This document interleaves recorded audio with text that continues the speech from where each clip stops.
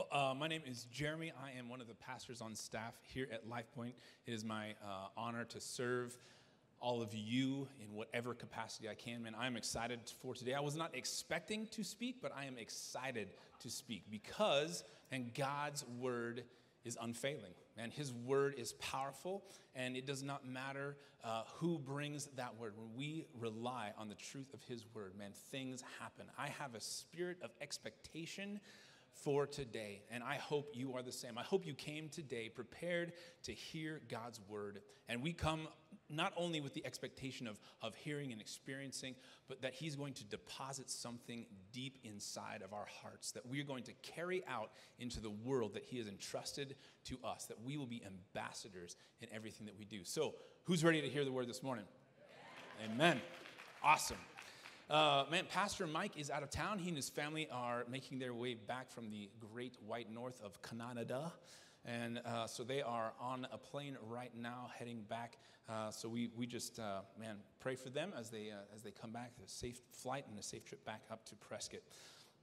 Uh, we are currently in a message series, Sticks X Stones, Sticks, Stick by Stones, Stick Tilty Cross Stone.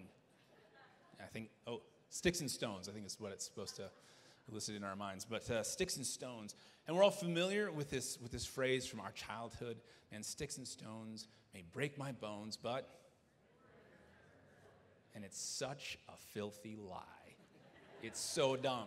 Like, I remember being a kid, and when I was when I was young, and I was uh, like the nerdiest of the nerd herd, and I did not have a, a ton of friends, and like, kids were pretty unkind to me uh, because of the way I dressed. My, my parents were very conservative, and so like I wasn't allowed to wear uh, that graphic T-shirts. That was underwear. So I had to wear like button downs and stuff, and so these kids would make fun of me. And I, I would say, you know, oh yeah, sticks and stones would break my. This never hurt me. You know, you turn around and bawling. It's, it's, it's bad. Like it's it's it's something that we tell ourselves, but unfortunately, it also masks what we're actually supposed to do. We we push these things down and we act like it doesn't hurt, but then it has incredible significance and ramifications for our hearts, our heart condition. We want to look at that today. Well, we've been learning over the past few weeks, um, Pastor Mike and Jesse last week. Uh, I would encourage you, go online, lifepointeaz.com, watch those sermons. There's a lot to unpack there. We've been hanging out in James, in the book of James, and, um, and there's, there's so much about the power of the tongue. And one of the things that they've been driving home is that it really, what we speak actually reveals a heart condition. It reveals a heart condition. And so uh, the word even tells us out of the abundance of the heart, the mouth speaks. And so examining those things, and uh, so take, take a listen to those messages and really begin to, to have that thing of, okay, if I'm saying this, and that means that something's in my heart, what is that thing that is spilling out into, uh, into the world around me by way of my words.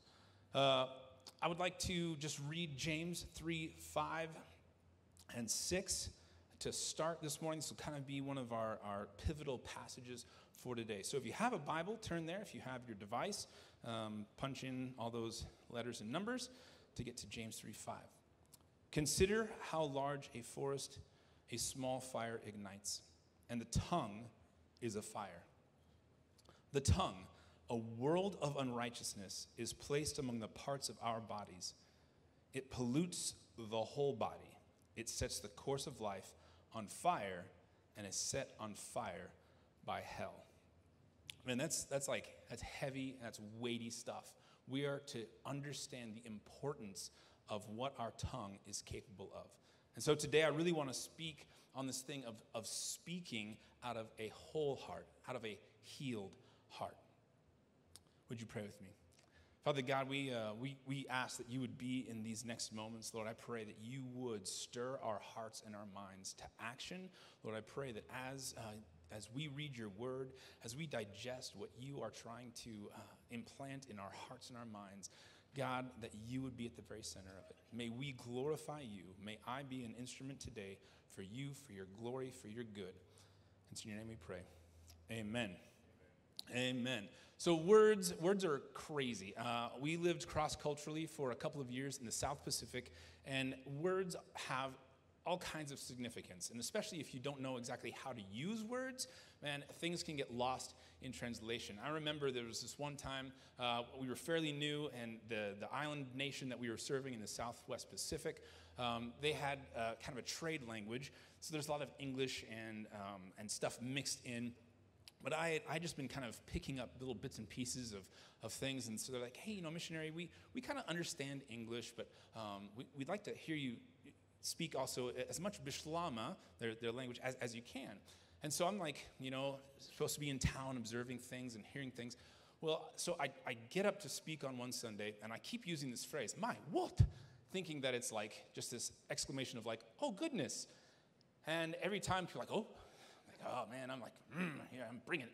So I get off the stage, and the guy who's kind of my guide, he says, hey, uh, you cannot say that in church ever again. I was like, what? He's like, that's cursing. Uh, oh, no. So here I come off the stage and I've been like saying naughty things in church from the pulpit to all these people.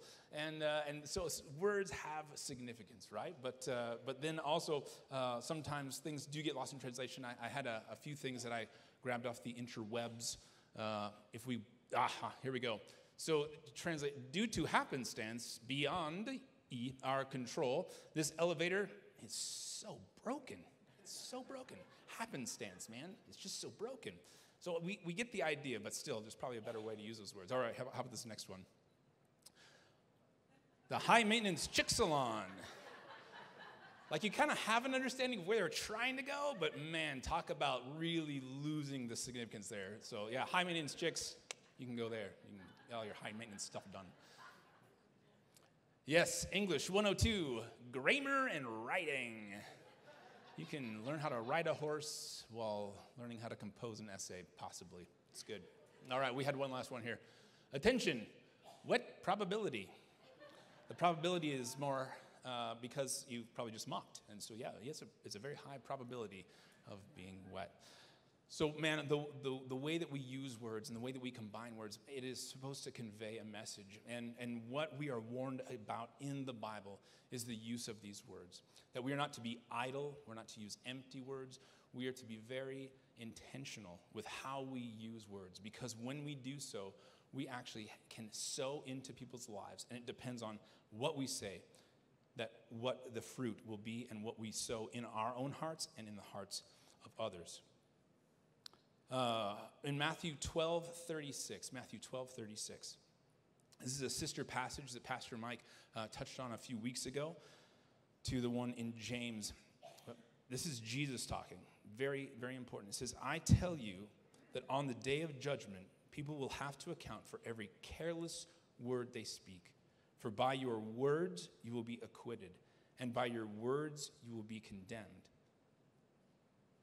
By your words you will be acquitted, by your words you will be condemned. And this thing of careless, this thing of careless words or empty words. So looking this up, and this is this is another reason, um, like you'll hear us often from stage talk about like the Greek, the Hebrew, and and uh, and these different things from from the word because we we want to understand and the fullness of the meaning. So much of language is understanding the full meaning, and uh, even though we have very talented people who are trying the best they can to get the meanings from the original language into English so we can understand. And there's so much richness of language that can get lost sometimes if we just pass by.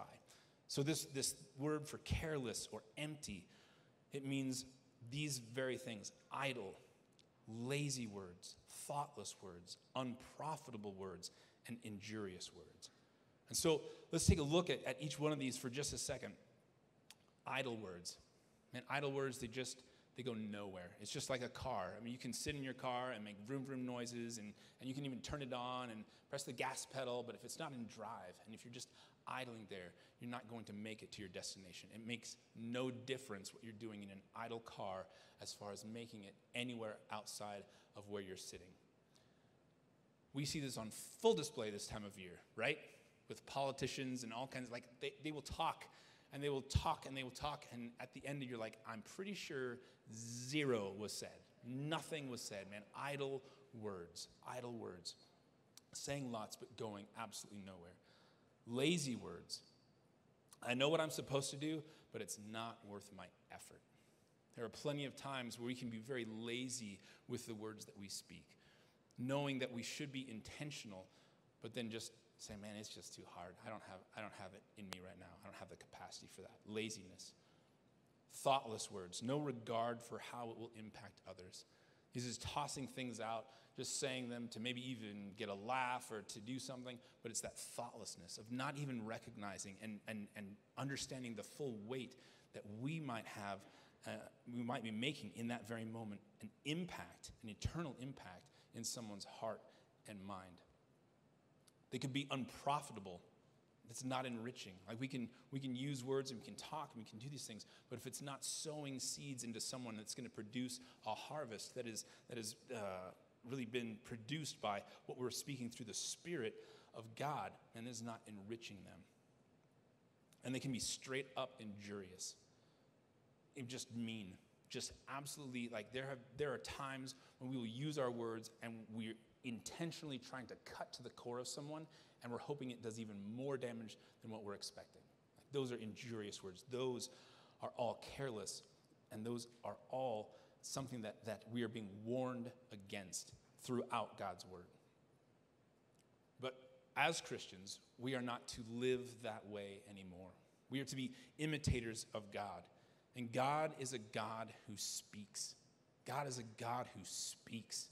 It is an amazing thing that we have a God who is not idle, he is not careless, and that he is someone who continues to speak through his word, through our hearts, through the presence of the counselor of the Holy Spirit.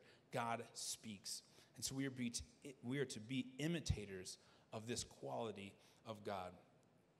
In Deuteronomy 32 47, this is referencing the commands that he has given. They, they get through, he's given the tablets to Moses. And then in Deuteronomy 32 47, it says this These are not just idle words for you, they are your life.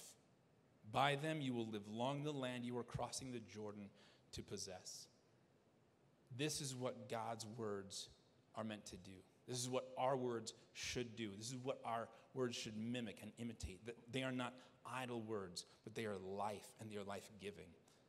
And so much of the time, uh, even, even today, people will look at the, uh, the Bible and they'll say, man, it's just a bunch of just rules and regulations and stuff. And God's saying, look, I, I didn't just say it to say it. I'm not trying to just impose a bunch of stuff just because like I was bored one day and didn't know what to do, so I started talking.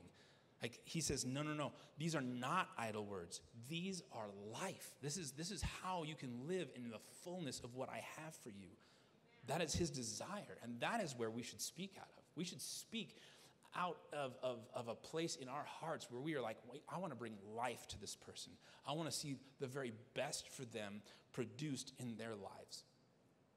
Proverbs 18:8 8 says, A fool's mouth is his devastation and his lips are a trap for his life. A gossip's words are like choice food that goes down to one's innermost being.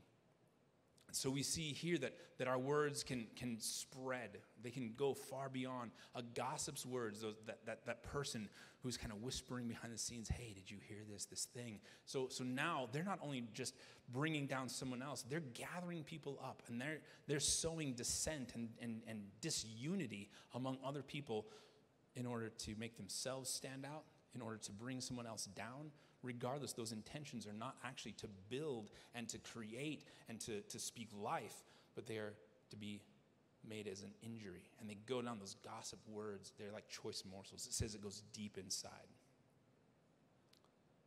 So now we come to, to James, James 3 5. Consider how large a forest a small fire ignites.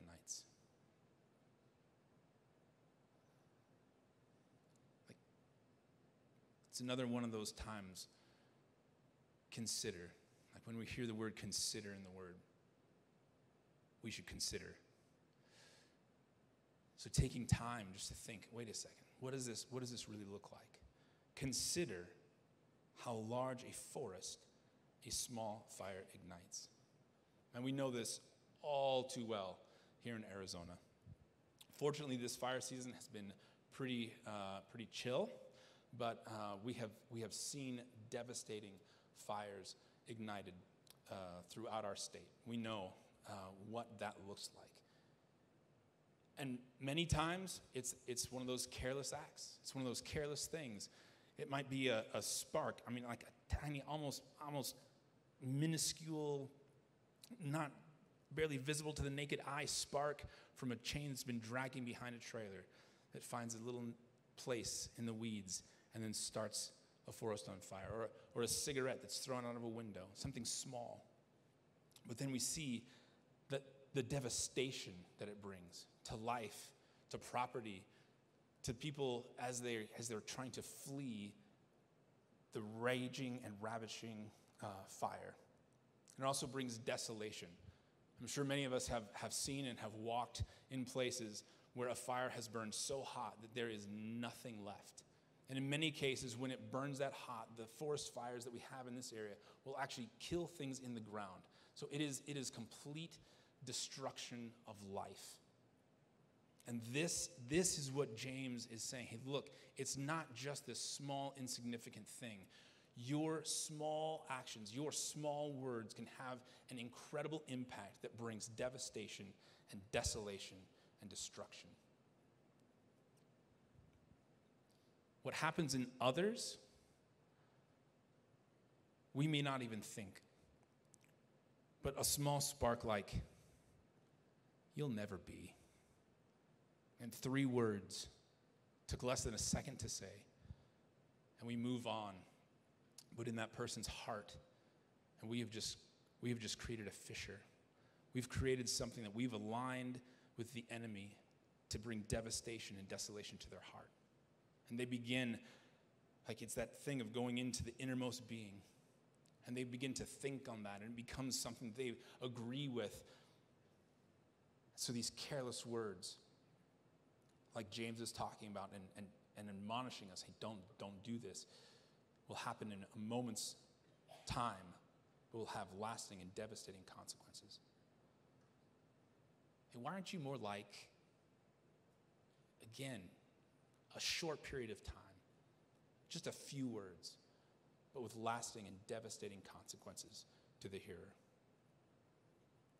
And who invited you? Like these, these things of rejection, of humiliation, those do not just roll off the back. Words will never hurt me. But they go to a very deep place in our hearts. And what, what happens to us? And this, this is uh, what we say to others matters because it does something in them, but also does something in us.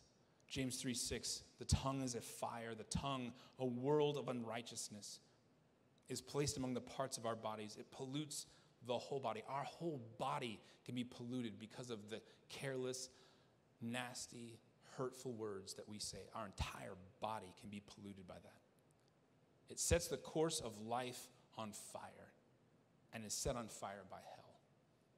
And for us, that thing of setting a course of our life on fire, when we are aligning with this, this thing of, of speaking careless words, when we're allowing those things that are in our hearts and where we've been hurt before to then produce something out of our mouths, it is setting our course uh, and our path um, of life on fire. It's, it's bringing destruction to us, but it's also setting that path of someone else on fire as well.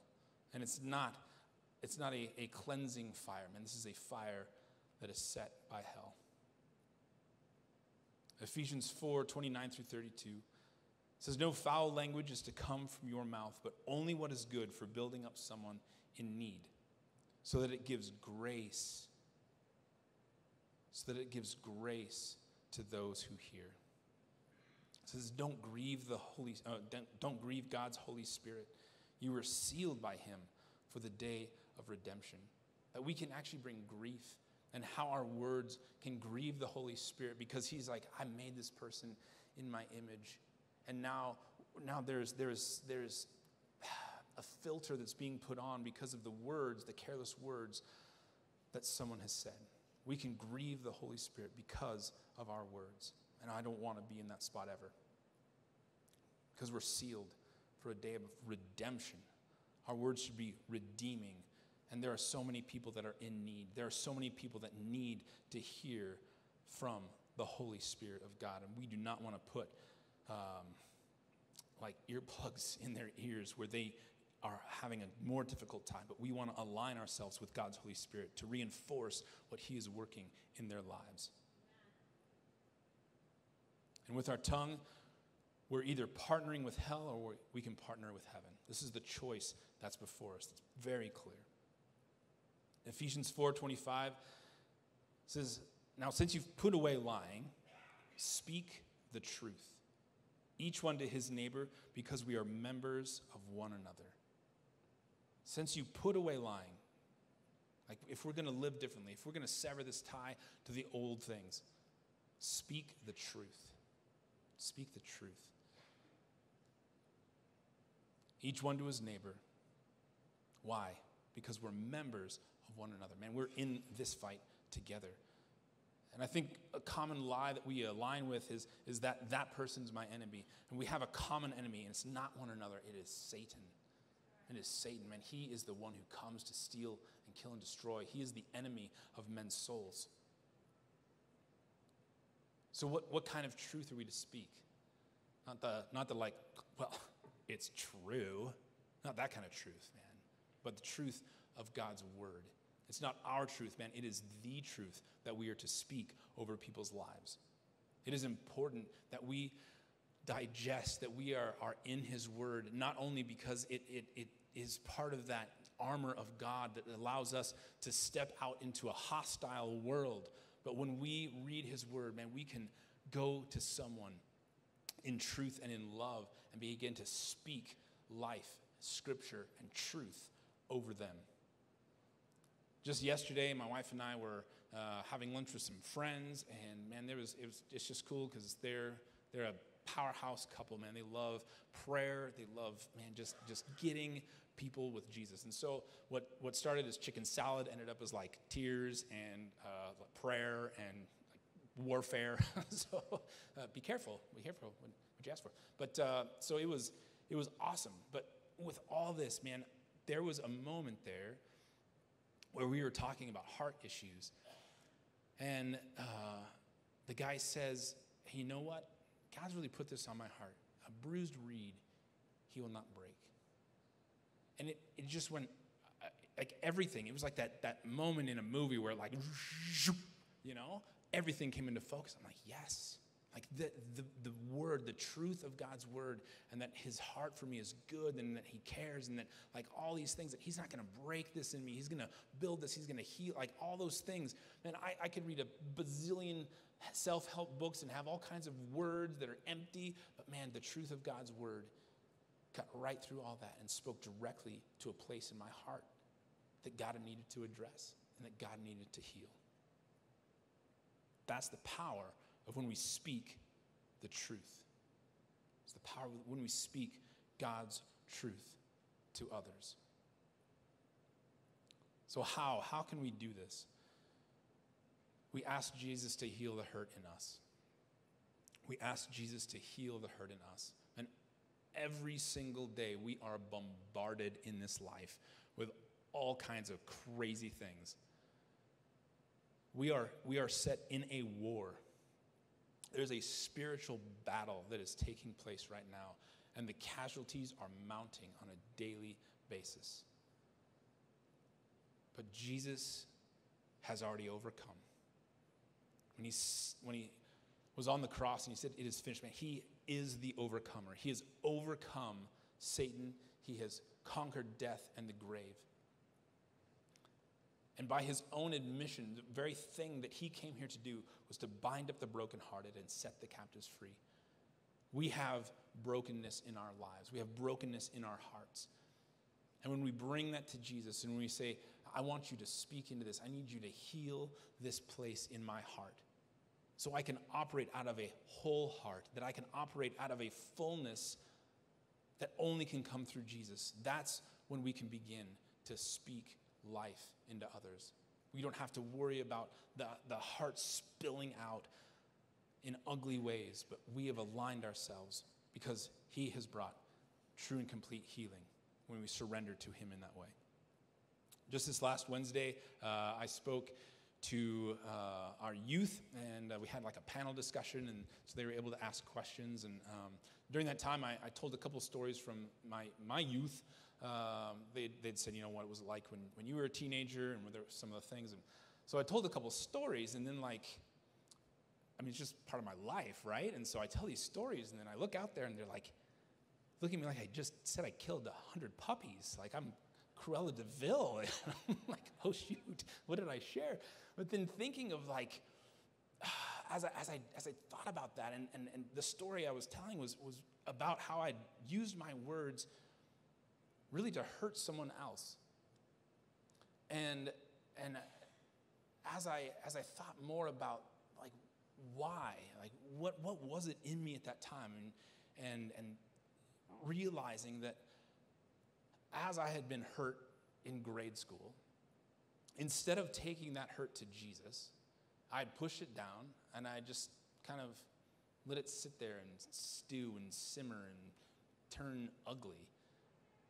And then as, as I had an opportunity, instead of speaking life into someone, I saw it as an opportunity to kind of like elevate myself. I'll, I'll just kind of push them down a little bit. And now I'm kind of like, okay, so I can, I have some power over here. I have some power to walk around and, and also inflict pain. And if I had originally gone to Jesus and said, God, this, this hurt, this hurt me.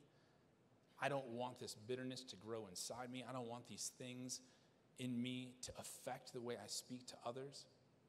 And I would not have the regret. I would not have those things of, of wishing I had lived differently wishing that I had not spoken into this person's life things of death and destruction. And that's available for us today. It's available for us. That's the amazing thing of God's grace and His mercy. That I don't have to live under the weight of that guilt, but I can take it to Him. And I know that He is gracious, that He is quick to forgive. When we turn away from our sin, when we repent of those things, we say, Man, I, I don't want anything to do with that anymore. I want, I want my words to bring life. I want my words to align. I want to be the ambassador that you have called me to be.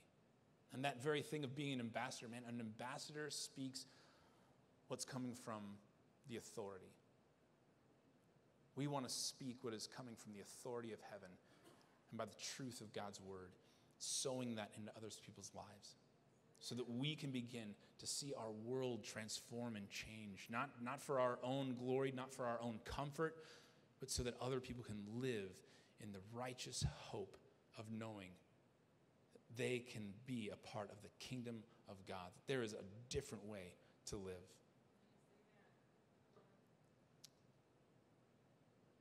Ephesians 4:31, I'll be closing with this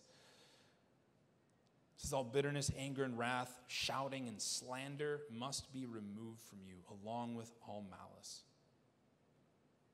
Be kind and compassionate to one another, forgiving one another, just as God also forgave you in Christ. And just hopping back up to 20, uh, verse 29 in chapter 4 of Ephesians. No foul language is to come from your mouth but only what is good for building up someone in need, so that it gives grace to those who hear. And we are surrounded by people in need. They may look on the outside like an enemy, but and the enemy is the one who has come for their soul. And so as we as we look at and as we examine our hearts and our lives, it is so important throughout our weeks to examine and have God examine our hearts. Bring ourselves to Him in silence and stillness and say, Lord Jesus, what would you have me know about the condition of my heart? And when things spill out, we bring that to Him. Things are, words are said to us, we don't hold that grudge, we take it to Jesus and we say, Jesus, I need you to speak into this area of my life. I do not want what this person has said to change the course, to set my path on fire. But I need you to come and rescue me in this area so that I will live out, that I will present the hope that you have offered me. rightly and in truth and in love.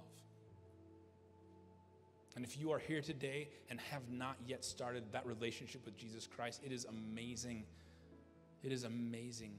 His offer is free a free gift of salvation to anyone who will confess with their mouth and believe in their heart that He is the Son of the living God. That He came to save us from our sins, that He died and that He rose again. And the offer is to live out from under the heavy weight of sin and death and knowing that we can be a child of the Most High God. That we no longer have to operate in this world with all of its hurt and its anger and its finger pointing, but we can live in a place where we speak life, where we sow seeds of righteousness into others' hearts and into our hearts. And that invitation is open for you today to start a relationship with Jesus. And He will walk with you, He will reveal to you His great love for you. He has not abandoned you, He is ready to receive you with open arms, to forgive all, all the things of the past. And I'm glad, I am glad that He has revealed Himself to me in that way. And He's ready to reveal Himself to you today in that as well. Would you all bow your heads with me this morning? If that is you this morning, if you are being prompted by the Holy Spirit, that's what that is that, that thing of like, man, I, I want to know more about Jesus. And that is the Holy Spirit knocking on the door of your heart. If you have had words spoken over you, if you no longer can see the hope for your life, and Jesus is ready to speak into that hurt, and He's ready to bring new life and new hope through the power of His Son. If you are here today and you would like to receive Christ, if you would like to, to take that step of saying, I want to surrender my heart to Him, would you raise your hand this morning? Amen. Amen.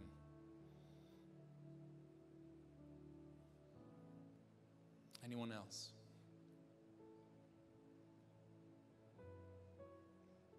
So I'll have you pray along with me. Lord Jesus, I ask that you would come into my heart. I ask that you would forgive me for those things that I have done that were in opposition to your plan for my life. I ask you to come in and be Lord of my life. In Jesus' name. Amen. Amen. And it is